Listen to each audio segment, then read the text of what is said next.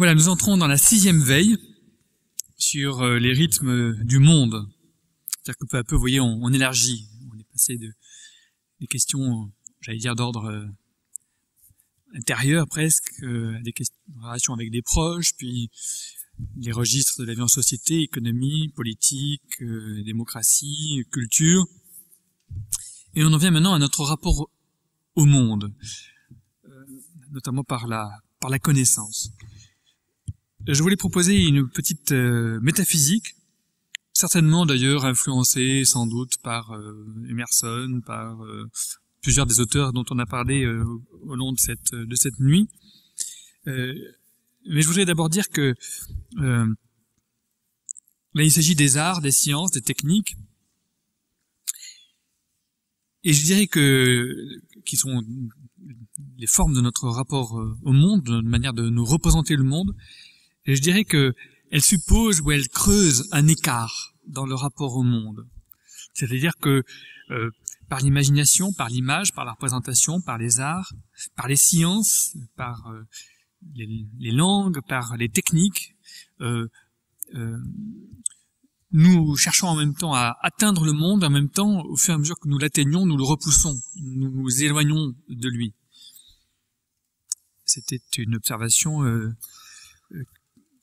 très judicieuse, très profonde, je crois, de d'Henri de Saint-Blanca dans un livre sur euh, la paléontologie, sur la euh, sur la sur euh, la formation, on va dire, de de l'esprit humain.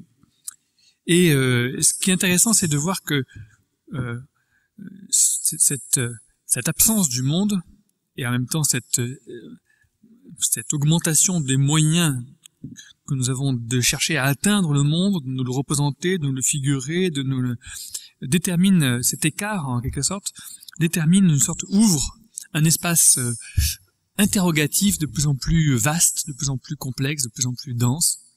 Et euh, c'est la première chose que je voulais dire. Il me semble que notre rapport au monde, c'est aussi la question de la vérité certainement, est marqué par le fait que l'interrogation est désormais au centre. Euh, il me semble que il faut pas que nous oublions cela. Nous avons parfois tendance à remplacer l'interrogation par la puissance. Nous croyons que la science n'est qu'un moyen de puissance, alors que la science est d'abord un, moyen de une, une figure de l'étonnement, une figure de l'émerveillement, une figure de la surprise, une figure de l'interrogation. On est, avec, on est parmi euh, dans l'interrogation. On suspend ce qu'on croit savoir réinterroger, remettre en cause ce qu'on croit savoir, nous remettre tous en cercle, en quelque sorte. C'est ça la communauté scientifique, et qui est d'une certaine manière un modèle de la cité humaine, de la cité humaine utopique peut-être. Nous remettre tous à équidistance du droit de questionner, du droit d'interroger, remettre la question au milieu. Je dis ça d'ailleurs, je dis ça dans un temple. Vous savez que l'architecture euh, protestante euh, classique, dans la mesure où elle a existé, elle a été pas mal euh, détruite, l'architecture calviniste était a souvent figuré en quelque sorte le texte biblique au milieu d'un cercle ou d'un ou d'une ellipse. Donc remettre l'interrogation au centre, il me semble que c'est le vieux geste socratique peut-être, mais on trouve aussi d'ailleurs chez Jésus la, question, qui répondre par une question. Euh, et c'est le vieux geste de l'Europe d'une certaine manière, c'est le cœur de l'Europe, c'est le cœur de ce qui me semble être le, et, euh, et voilà, et, en même temps l'Europe l'oublie, pour reprendre l'expression de Jacques Ellul, l'Europe oublie son, son propre geste. Et Husserl aussi a beaucoup soutenu cette idée que l'Europe avait oublié son idéal interrogatif. C'est aussi euh, l'idée que ce rapport au monde est un rapport pluriel, là encore. C'est-à-dire qu'il y a plusieurs ordres de vérité. Il n'y a pas une seule vérité. Il n'y a, pas un seul régime de discours. Il y a plusieurs régimes, il y a plusieurs registres. Et qu'il y a une discontinuité des problèmes. Il n'y a pas une solution à tous les problèmes. Il n'y a pas une théorie qui engloberait tout, une vérité qui engloberait tout. Justement, parce que c'est, ce rapport est un rapport d'excentricité, c'est pas un rapport centré. Il n'y a pas un, rapport euh, à une vérité unique d'une certaine manière. C'est plus, c'est plus pluriel que cela. Voilà, ça c'est ce que je voulais dire sur cette euh, sur cet euh, écart. Et euh, en ce sens-là, nos arts, nos sciences, nos techniques ne sont pas des moyens de nous évader hors du monde ou de fuir le monde, ni non plus des moyens en quelque sorte de, de, de, maîtriser le monde, de le transformer, de faire, de faire ce que nous voulons savoir, d'agir sur le monde d'une manière, j'allais dire, euh, euh purement, euh, euh, purement fabricatrice ou destructrice, ce qui un petit peu, qui revient un petit peu au même. Hein, c'était l'idée d'expérience, on fait, on défait, on refait. Bon, oui, c'est bien d'expérimenter comme cela, mais il ne faut pas croire que le monde se réduise à ce qu'on en fait. Euh, c'est quelque chose qui avait été très très très bien remarqué par euh, Nietzsche dans le Gai Savoir. Euh, Nietzsche dans le Gai Savoir dit que nous n'avons cessé de, pour chercher la vérité, de détruire. On détruit les apparences pour chercher ce qui est derrière. Il faut toujours déchirer, déchirer le voile pour trouver la vérité qui est derrière. Et quand on a déchiré le voile et derrière les voiles et derrière les voiles, finalement, il n'y a rien derrière. C'est ce qu'il appelle la logique nihiliste hein, de la, de l'esprit, euh, derrière l'esprit scientifique encore un idéal nihiliste. Bon. Et donc il faut retourner en fait, c'est pas retourner la démarche, hein, c'est pas en détruisant, c'est au contraire euh, en acceptant au contraire cette pluralité de voiles, de manière de chiffrer. Il faut chiffrer pour pouvoir déchiffrer. Hein. Il faut il faut voiler, c'est les voiles qui dévoilent, c'est les voiles qui montrent les formes. Il faut sans cesse, au contraire, remettre des nouveaux voiles, essayer sous d'autres sous d'autres vêtements habiller autrement la réalité, sans cesse. Il faut la travailler, il faut la cultiver. Euh, je dis ça parce que c'est vrai que nous sommes, euh, nous avons tendance actuellement à avoir un rapport un peu euh, gnostique au monde, dire le monde est un monde matériel, plus ou moins mauvais, plus ou moins d'ailleurs euh, euh, foutu, et en quelque sorte, nos techniques sont déjà, nos sciences, notre système technoscientifique serait déjà, et même nos arts, par certains côtés, serait un moyen de nous préparer à quitter notre base de départ, cette planète Terre qui est, vouée à, à, disparaître parce que de toute façon elle est, limitée, elle est, elle est, est, elle est, tordue, elle est, elle est, pas bien faite. La création n'est pas bien faite, c'est évident, la nature n'est pas bonne, mais l'homme va faire quelque chose de beaucoup mieux, il va créer, recréer une condition humaine, euh, peut-être au-delà de la condition sexuée, peut-être même au-delà de la mort, avec des, des branchements euh, qui permettront une télécommunication hein, instantanée, euh, une ubiquité, etc., etc. Je dis ça, c'est des techniques. Il y a un management par la technique de ce genre de d'évolution. Hein, on croit qu'on peut tout choisir. Hein, ça, va, ça va avec euh, l'imaginaire de l'option. Tout est en option en quelque sorte. Tout est virtuel, tout est possible. Mais ça va aussi avec tout un, tout un art, tout un art euh, ben justement, Véronique euh, Naumgrap, qui n'était pas là, elle a beaucoup travaillé par exemple sur les mangas japonais. Elle a montré comment après la Seconde Guerre mondiale et Hiroshima, Nagasaki, a surgi dans l'imaginaire des mangas justement un imaginaire post-destruction, post-humanoïde, une humanité post euh, post-destruction totale. Alors comment est-ce qu'on fait? Alors on est dans, une situation de ruine complète et on survit, mais avec des dans une, avec une esthétique post, post-humaine, on va dire.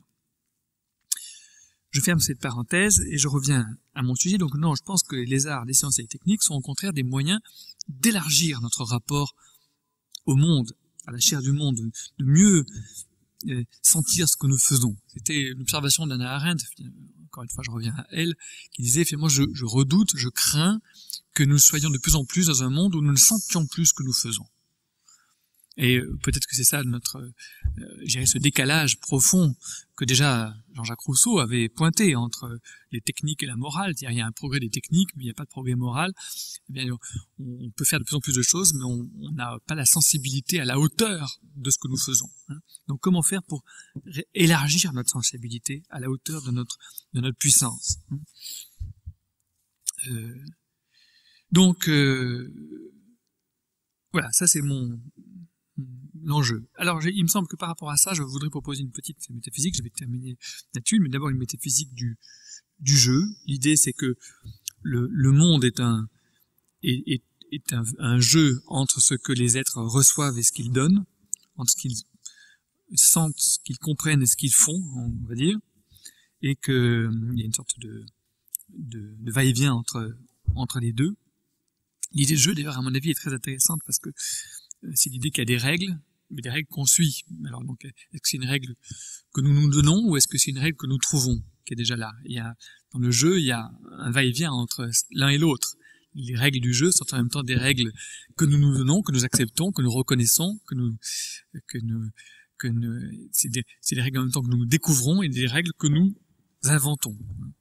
Et puis, dans le jeu, un autre trait du jeu qui me semble très intéressant pour l'éthique, c'est qu'on est dedans dehors. C'est intéressant par rapport au monde. Hein, on est dans le monde, mais pas du monde. On est dedans, on est dehors. Ce rapport au monde, ce rapport ambigu au monde dans lequel on est dedans dehors, c'est ce qui se passe quand on joue. Quand un enfant joue, il est à la fois dans son jeu et pas dans son jeu. Euh, s'il est complètement dans son jeu, il joue plus. S'il est en dehors de son jeu, il ne joue pas. Il faut être dedans dehors pour jouer. Il y a un rapport, il y a un, jeu, il y a un, il y a un petit jeu. Et euh, je dire autre chose. euh, dedans dehors. Euh, bon, c'est pas grave. Voir aussi l'idée de jeu. L'idée de jeu me semble très très importante.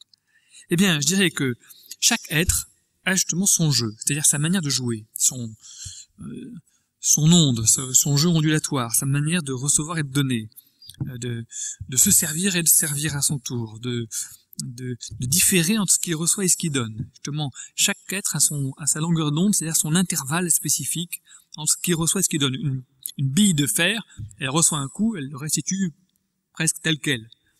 Bon, ben, les lichens, c'est déjà beaucoup plus élaboré, les lichens. Ça, ça reçoit des choses diverses et ça en fait autre chose, ça en fait des, c'est extraordinaire les lichens, avec très peu de choses que les lichens sont capables de faire en, en, termes de forme, en termes d'habitation, en termes de, d'espace, de, de, surface. Euh, et puis bon, bah, si on peut, comme ça, peu à peu, monter dans ce que Leibniz appellerait euh, l'échelle des êtres, si vous voulez, on a ainsi des, des, des figures de plus en plus complexes, hein, les peupliers, les bon, entre ce que les êtres reçoivent et ce qu'ils ce qu'ils donnent. Et d'une certaine manière, on pourrait dire que euh, on, pourrait utiliser la, la, théorie du don, la théorie du don de, de Marcel Mauss, c'est-à-dire qu'en fait, le don, c'est lorsqu'on reçoit un don, euh, on, le reçoit comme un don, c'est pas un échange marchand, mais on va obligation de rendre, on va rendre, il va y avoir un contre-don. Mais pour montrer que c'est pas un marchand, on va donner beaucoup plus tard, il faut différer, et il faut donner autre chose. Euh, et même à la limite, il faudrait pas trop voir que ça a la même valeur. Ça a à peu près la même valeur, mais il faut pas trop que ça se voit. Il faut que ce soit apparemment autre. Il faut différer. L'idée du don, c'est qu'il faut le différer. Hein. Il faut le contre-don diffère par rapport au don. Et donc, les êtres sont puissants à proportion qu'ils ont la capacité de différer euh, ce qu'ils reçoivent, d'en faire autre chose. Hein, un petit peu comme dans la parabole des talents. Hein, euh, euh, les serviteurs, ils reçoivent quelque chose, ils en font autre chose. Et justement, quelqu'un qui rend tel quel, c'est qu'il est vraiment pas très fort. Il valu pas lui donner trop. Quoi. Et donc, plus on plus on voit quelqu'un capable de recevoir, plus on peut euh, lui donner d'une certaine manière. Ce qui est très injuste, mais peut-être que justement, il y a quelque chose comme ça, comme une joie, à augmenter notre faculté à recevoir et à, redonner, à, rendre autre chose, à rendre grâce autrement. Et euh, voilà. Et je dis, il me semble que ça, c'est une, c'est pas simplement une observation anthropologique, c'est une observation cosmologique. Les êtres sont, marqués par cette faculté-là.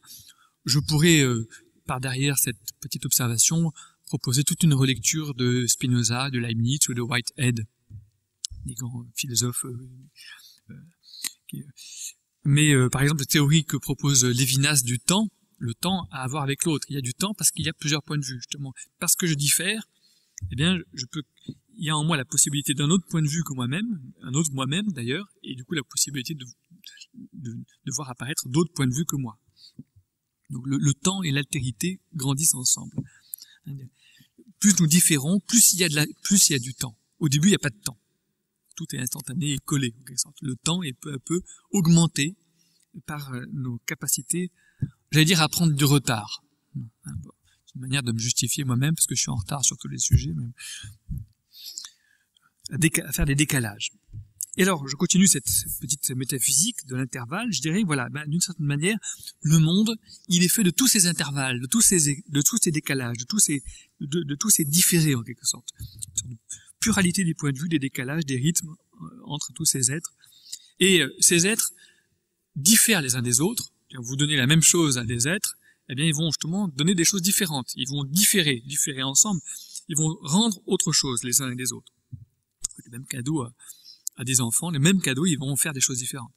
Les êtres diffèrent. Bon, mais aussi euh, euh, chaque être chaque, tend à, augmenter son jeu, à augmenter sa place, à augmenter ce qu'il reçoit et ce qu'il donne, hein, à, se montrer, hein, pour reprendre la formule du début de la nuit. Euh, mais il y a un moment où il touche une limite, c'est-à-dire qu'il y a un moment où il reçoit plus qu'il ne donne, où il, où il donne plus qu'il ne reçoit, c'est-à-dire qu'il fait plus qu'il il fait plus que ce qu'il sent, ou il sent plus que ce qu'il fait. Donc il y a et là il touche une limite, c'est-à-dire en fait il, a touché sa limite, c'est-à-dire qu'on peut, on n'est pas tout puissant et on n'est pas tout intelligent, on peut pas tout comprendre et tout faire. Et donc on touche, en touchant cette limite, euh, peut-être qu'à ce moment-là les êtres, ce qui se passe, c'est qu'ils ont envie de redescendre, c'est-à-dire qu'en fait ils ont envie de, de diminuer. Il y a une, un temps pour chaque être de monter, d'augmenter son jeu, d'augmenter sa capacité à différer, et puis un temps pour diminuer, pour dire non, revenons à un jeu plus limité, un jeu qui serait encore du jeu, si vous voulez, parce que là, il a, atteint quelque chose qui n'est plus du jeu. Donc il faut moins recevoir, moins donner, s'attacher à un jeu moindre, euh, s'attacher à, oui, peut-être, à des règles, au sens de la règle bénédictine, à des répétitions, à des musiques, à des, à des ritournelles, hein, à des, des, petites habitudes familières hein, qu'on aime, qu'on apprécie. Mais finalement, c'est c'est Ulysse qui revient à Ithaque, alors qu'il aurait pu continuer son voyage euh, très loin. Ben non, il revient. À, il était avec euh, Calypso, non, il revient à Pénélope. Hein, bon, c'est voilà, il y a une sorte de va-et-vient. Il me semble que ce sont ces euh, cette petite métaphysique de la faculté de différer et en même temps du besoin de, de, de réduire, il y a, une, une, augmentation de la tension et une détente, on va dire, hein, pour reprendre les formules du début, euh, permet à la fois de rendre compte euh, de ce que j'appelais au commencement de cette nuit le courage, et, euh, courage de se montrer, va permettre plus loin, un peu plus tard, à la fin de cette nuit, de parler de l'effacement, le temps pour s'effacer, pour diminuer, justement pour s'effacer. Mais on propose, je dirais, une version euh, cosmologique, une version à la hauteur de la pluralité, de la diversité des êtres. Et il me semble que finalement, le monde continue euh, parce que à la fois il se bat contre l'entropie euh, par justement des êtres qui sont qui veulent augmenter leur information, leur capacité à informer, et en même temps il se bat contre la négantropie parce que imaginez que le monde tout entier irait vers une complexification de plus en plus croissante, une augmentation de la puissance, une augmentation de l'intelligence, une augmentation de la mémoire croissante, exponentielle, eh bien, soudain, on a envie de dire, ça c'est plus nous. C'est plus humain. C'est simplement inhumain. Nous ne sommes, nous, pas capables de supporter un processus d'augmentation exponentielle de la complexité, de l'information, de la mémoire, de la puissance, etc. Il nous faut revenir à nous-mêmes, il nous faut revenir à notre bonne vieille terre, il faut nous faut revenir un jour à notre Ithaque.